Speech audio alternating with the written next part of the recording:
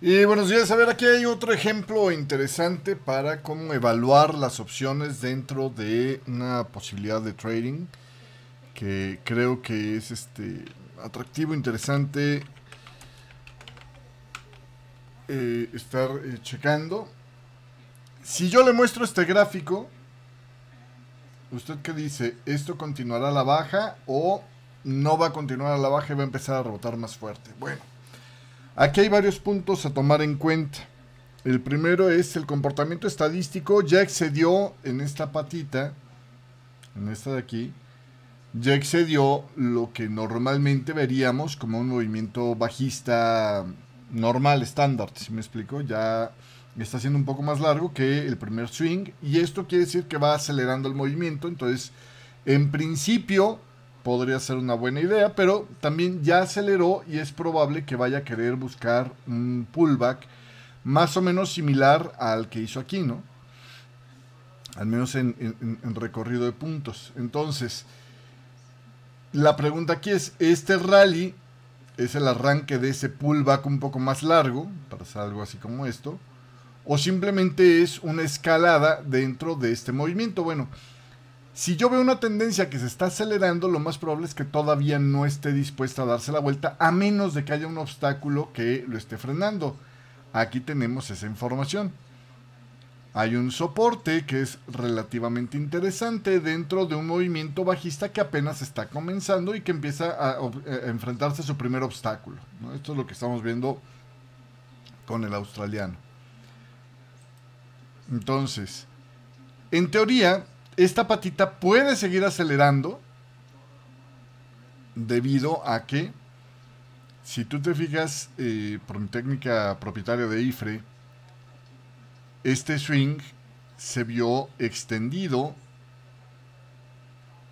en su desempeño hacia la baja y los retrocesos en términos de porcentaje no se han excedido, estamos justo en el 38,2%, por eso es que este todavía está a tiempo para darse la vuelta. Entonces, ¿qué es lo que va a definir si continúa o no continúa el movimiento bajista? Pues que eh, eh, este movimiento alcista ya esté claramente terminado o no esté claramente terminado. Entonces ahí es donde nos vamos un poco más abajo y vamos a ver cómo van las cosas. Eh, no le hagas caso a este cuadrado azul, luego te explico de qué se trata, o tal vez en otro video. pero básicamente aquí lo que estamos viendo es que el rally este en el que estamos eh, eh, eh, comprometidos ahorita, propiamente per se no ha desacelerado. Propiamente per se sigue manteniéndose vigente. Primer swing fue, digamos, a esta velocidad y en esta extensión. Segundo swing fue más rápido. Fíjate cómo tengo yo que hacerlo hacia atrás para terminar de completar el rango de extensión y fue más largo, ¿no? Entonces está acelerando. Y aunque el retroceso también es más profundo, en términos porcentuales, me parece que se mantiene igual. O sea, es un, retroceso que más o menos se regresa al 50% de lo avanzado. Lo mismo que hizo por acá, ¿no? Más o menos retrocedió el 50% de lo avanzado en esta nueva patita que es bastante más larga aunque más breve en tiempo, también más o menos por ahí ha quedado en el 50%. Entonces, a pesar de que esta caída ya es más grande que la que habíamos visto acá, todavía no ha terminado de avanzar, ¿no? Este, todavía está por aquí. ¿Cuáles son entonces mis expectativas concluyendo ya todo este merequetengue? El día de hoy, el australiano mantendrá la presión alcista en tanto no corte por debajo de estas zonitas de soporte. ¿Por qué? Porque aun si todo esto fuera el primer rally, y eso viene este fibo amarillo, espero que lo estés notando, aquí está el 1, aquí está el 0, y este es el retroceso del 61,8%. Si fuera la primer patita de una nueva secuencia alcista, puede darse chance de tener un retroceso profundo, y este es el soporte donde ya se va más allá del 76,4%, ya rompe todos los soportes habidos y por haber, etcétera, etcétera. Mientras no caiga por debajo de eso, es peligroso estar este, vendido en el australiano el día de hoy.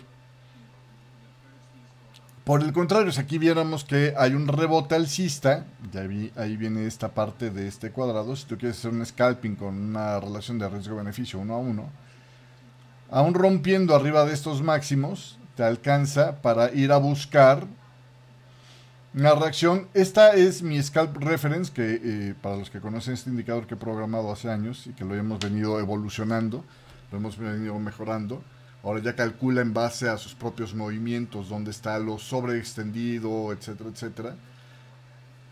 Todavía dentro del rango de lo razonable del movimiento alcista que podría tener el australiano, podríamos encontrar una meta más o menos por aquí consistente con la resistencia 3 de la tabla de los puntos pivote.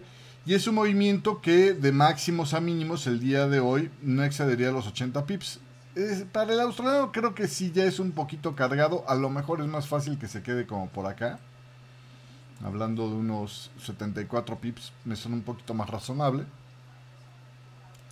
Pero podría, podría estar funcionando. Obviamente, si encuentras una relación de riesgo-beneficio, por ejemplo, un muy buen rebote por aquí que te, que te haga pensar que ya el precio es muy difícil que se vaya por debajo de esta zona de soporte puedes ir a buscar, por ejemplo, un objetivo cerca de esta zonita de resistencias. Y ahí tendrías una relación de riesgo-beneficio un poco más aceptable, pero también con un stop loss mucho más chico que cualquier disrupción fundamental, que ahorita estamos muy expuestos a esta, podría darte. Entonces, más o menos por ahí sería el asunto.